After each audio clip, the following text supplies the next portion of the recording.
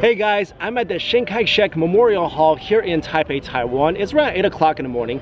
The reason I'm here is, well, besides the beautiful view, if you guys are ever in Taipei, you gotta see this place at night. Absolutely stunning. Anyway, the main reason I'm here is that I'm in the mood for an authentic Taiwanese dish, something I consider perfect for breakfast braised pork over rice. And I hear one of the best places to get that in all of Taipei is this place called Jinfeng Restaurant and it's located right near this memorial hall. So I figured get up early, I'm kind of jet lagged anyway, come see the beautiful view and go get some braised pork.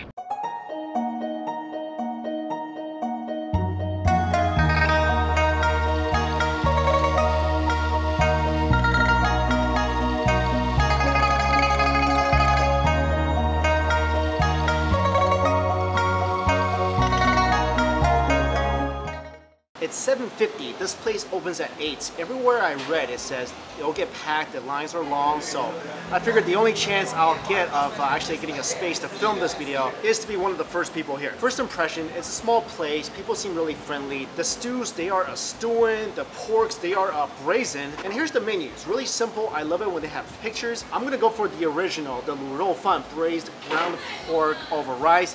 And what I'm gonna do is I'm gonna add a, uh, a piece, a slice of whole pork belly on there. Then I'm gonna get a ludan, stewed egg, because you cannot have pork over rice without a nice stewed egg. And I'm contemplating the pork brain soup. The only brains I ever had in my life is this one. Uh, I've never ate brains before because I'm not a zombie. Also, if you didn't know, Chinese zombies don't even eat brains. We just drain other people's life force. That's much more civilized. This is the way you order in a lot of Chinese restaurants. You just check off what you want. Um, I don't see any English versions here. I guess you might have to just kind of play match the Chinese characters. So here's what I got. Large braised ground pork over rice with an extra slice of pork belly.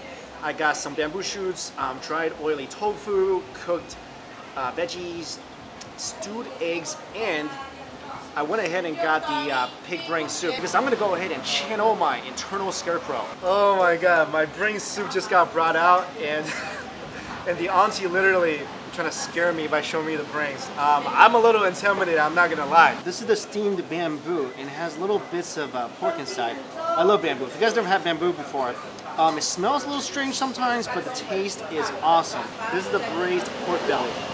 Oh my god, I'm just squeezing my chopsticks together lightly and it's just falling apart. Look at this, oh my god, this is the, this is the fatty piece right here. And literally, I'm cutting through it. See that guys? I'm cutting through it by barely putting my chopsticks on it. It's just falling apart. This is the ole tofu. I love tofu. Nice, nice fluffy white interior. And I love it that they covered it with sauce. Look at this. There's sauce on the bottom as well. So you could always kind of dip your tofu in more sauce. This is the stewed egg. Check out the outside. Beautiful color. Let's break this apart. And when you eat barbecue, you look for that smoke ring that's there at good barbecue places. Same thing sort of with a nice stewed egg. You see it's brown on the outside, a little white on the inside. That means the flavor has seeped all the way through. This is the braised pork over rice and I just noticed something. I thought for a moment there, I thought these were pickled vegetables. The, the white parts, no. This is all fat. It's more fat than lean meat here. And holy cow, look at the rice. The fat is seeping into the rice. I wish they gave me more meat. It doesn't feel like I have enough meat here, but Look at this. Oh, look how far this oil, this fat has penetrated through the rice all the way to the bottom. So all this rice is already seasoned by the pork fat.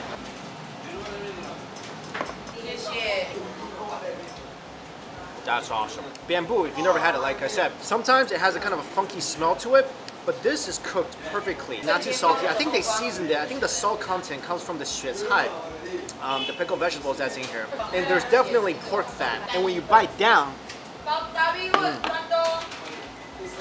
nice and crunchy and that distinct bamboo flavor. Guys, learn from the pandas. Eat your bamboo. This is the extra order of pork belly. I want to make sure I get some fatty content along with some lean meat in this bite. Get out of this world. Get out of this world. Holy cow. Wow, that's the best bite of pork belly I've ever had in my life. Like, not even a competition. Every other pork belly, I loved you, we had a good time, but I'm sorry, I have found my true love. Now let's take a bite with all fat. Did I just eat that or drink that. Because that poor belly just did something David Copperfield was never able to do in his magic shows, disappear. Literally touched my tongue and started melting. I get why now the rice um, so much fat soaked into it. It's literally like pouring pork belly fat juice over the rice. Now the main events. Look at this guys. I spent a few minutes talking about the other dishes. Looks what, look what happened to this dish so far. A lot of the fatty pieces, you see this? It's gone now, it's dissolved. They sacrificed themselves to make this bowl of rice more delicious. Cheers.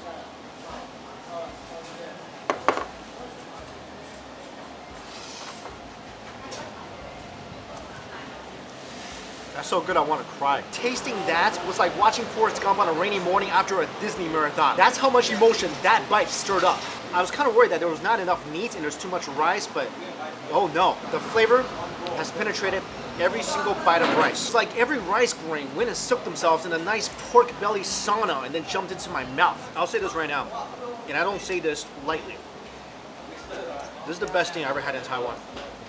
My two trips here in Taiwan, all the food I've had, this is the best thing I've had here. Only a couple of things can make this better. First of all, is stewed egg. Mm.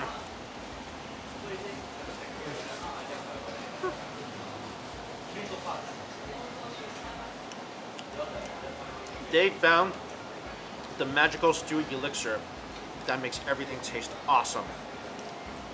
Oh, that stewed egg was good. Hot sauce. In Taiwan, don't usually have a lot of hot oil. They have a lot of like these types of hot sauce. So I'm just gonna add a little bit. The hot sauce they have here is more sour than anything else. Actually, it works really well with uh, something that's really fatty and meaty. It really does a lot to cut the fat so you can eat more of the pork and the rice without feeling like it's too much. This is the part of the meal I'm really not, not looking forward to, but let's do it. Pork brain soup. Let me just try the broth. Wow.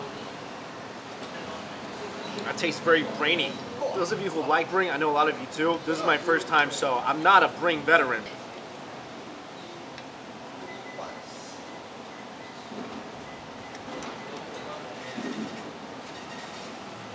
Yeah.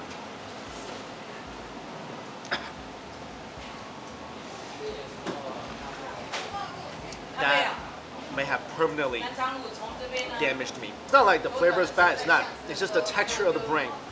It's unlike anything I ever imagined. It's really, really, really, it's too creamy. I was kind of imagining from the flavor of the soup that it would be more like, uh, kind of like a liver maybe. It's a little more chewy, but it's not chewy at all. It just tastes like really soft organ tissue. It reminds me of the texture of the intestine, except for it, you can't really chew it. It just breaks apart and melts. So I've got to say, this will be the first and last bite of brain I might ever have in my life. I mean, if you like brains, I'm sure that's delicious, but that's definitely not for me. Instead, I think I'm gonna get a second bowl of this.